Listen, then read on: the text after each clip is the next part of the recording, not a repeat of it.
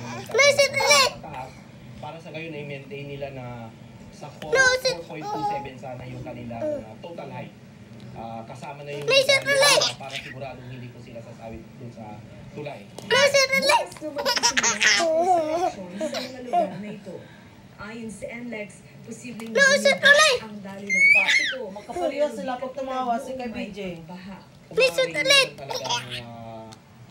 Dun sa area. Ulit! Pag ah, Friday afternoon, yung buong ulit!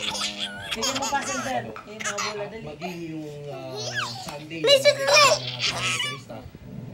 Kung bumigat ang dami ng trapiko, para sa mga ulit! maaaring mag-exit sa Pulilan at pumasok sa ulit! Gayon din sa pa-South Bank. Closet ulit! Exit sa San Fernando o sa San Simon, Sa Pulilan. Magdamag din Dito lang talaga yan sa ganda. Closet ulit! Angat sa kalsada.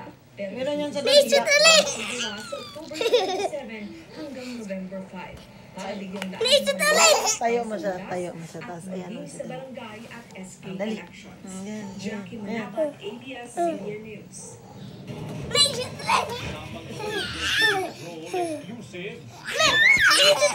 Matapos umanong bugbugin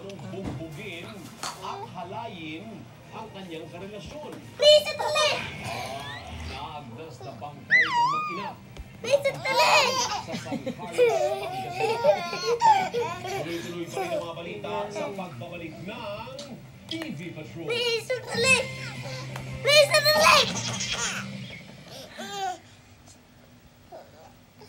Closet ulit!